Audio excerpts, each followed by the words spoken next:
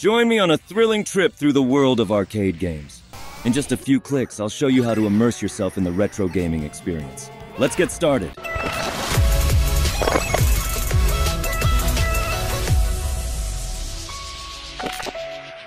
In the tutorial video, I'll guide you through the process of unpacking the 135 in 1 pack. We'll go step by step, making it easy for viewers to follow along. Let's get started. Step 1. Go to gwim.gameblog. In the main section of the site, find the download button.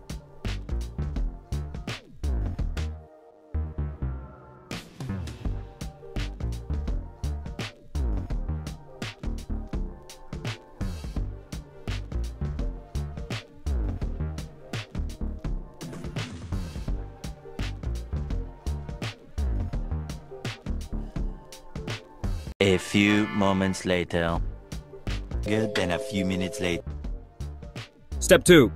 Download MAME 4 Droid as your emulator and a RAR extractor app from the Play Store, such as Zarchiver. Step 3.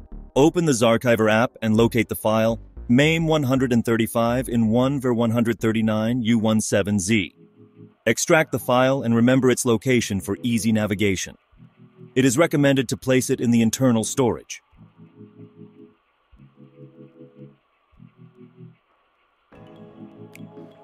Step 4. Proceed to set up the MAME 4Droid app.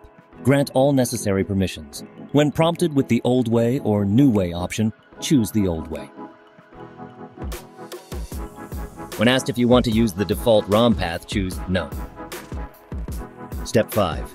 Choose the option to manually select the path or folder for the ROM files. Look for the folder named MAME. Remember the location where you put it. Once you've selected the folder, the games will automatically reload. Enjoy your retro arcade journey with 135 games.